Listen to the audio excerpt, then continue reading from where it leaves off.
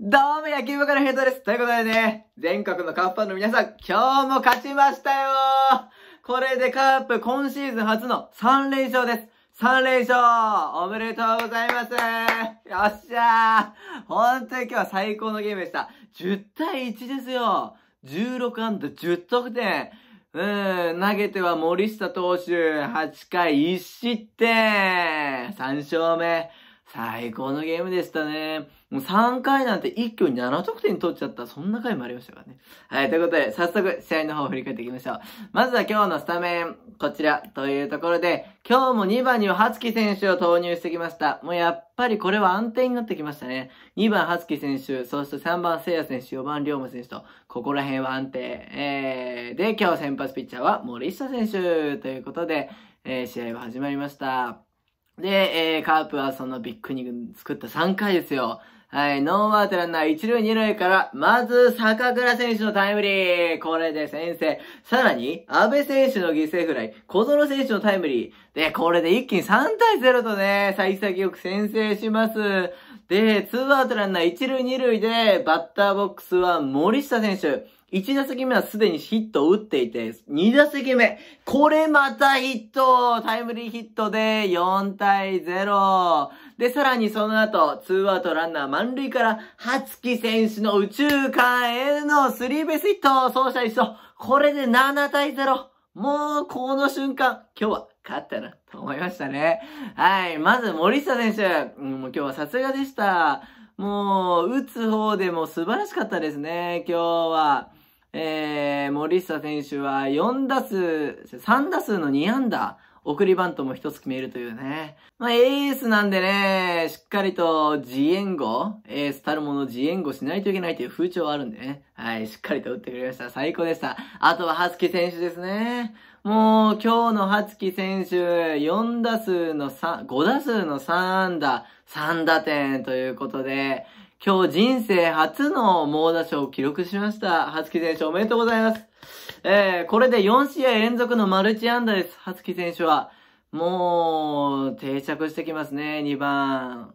うん、さすがです。えー、ただね、4回の表、えー、佐野選手にホームランを森下選手は打たれてしまいます。これで7対1。ただただ5回の裏、えー、先頭の小園選手、スタメンの小園選手がツーベース、森下選手送りバントで、ワンアウトランナー三塁とチャンスを作って、菊池選手のタイムリーもうこれでダメ押しでしたね。はい。そのままイニングは8回表まで進んで、森下選手がね、えー、8回の表で、うん、マウンドを降りました。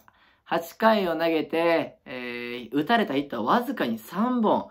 7奪三振の1失点という完璧なピッチング見せてくれましたね。本当に。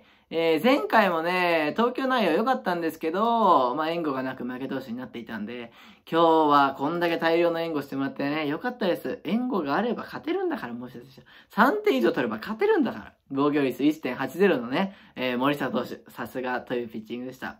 で、えー、カープは8回の裏、ツーアウトランナー1塁という場面で、えー、今日先発で唯一ヒットがなかった、龍馬選手がバックスクリーンへの第5号ツーランホームランあうあう最高でした。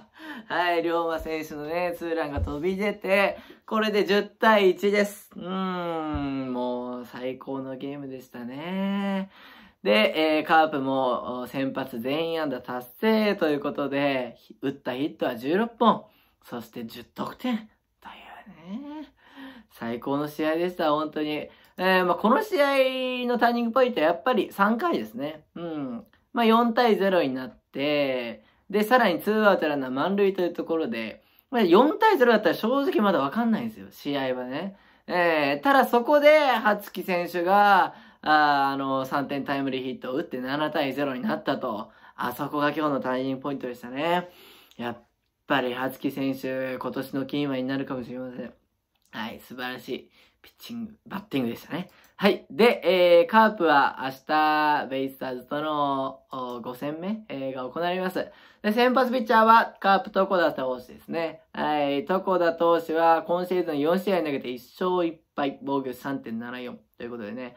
ベイスターズ戦にはまだ今年は投げていなくて、で、前回登板ヤクルト戦なんですけど、6回1失点というね、いいピッチングを見せてたんですけど、勝ち負けつかず。だったんで、えー、まあ明日はね、えー、同じようなピッチングを見せて、打線も奮起して勝ってほしいなと思います。一方、ベイスターズは京山投手です。はい、京山投手は今シーズン2試合投げて0勝2敗、防御率は9.00ということでね、前回当番が4月3日のカープ戦。うん。で、これで5回6失点で負け投手ついてるんで、負け星ね、ついてるんで、まあ、2軍に下がってから昇格しての初めてのマウンドが明日だということになるんですけど、まあ、やってくれるでしょ。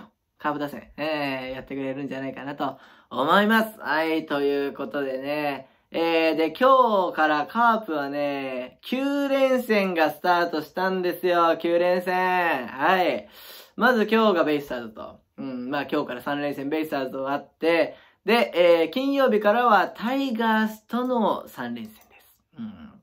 甲子園でね。はい。まだでもね、このタイガースとの3連戦には、西投手も秋山投手も投げてこないんで、ここはもらい時ですね。えー、勝ち時です。はい。